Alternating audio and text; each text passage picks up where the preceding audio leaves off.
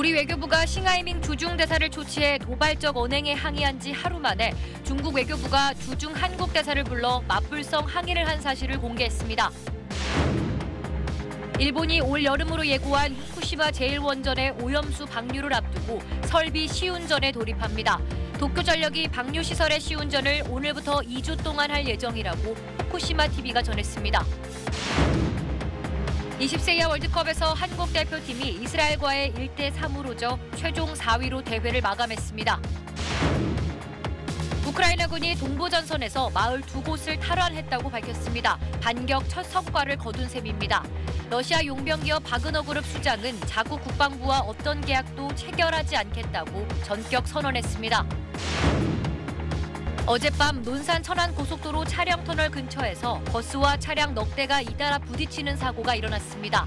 큰 불로 번지며 양방향 차량 통행이 전면 통제되면서 극심한 정체를 빚었습니다.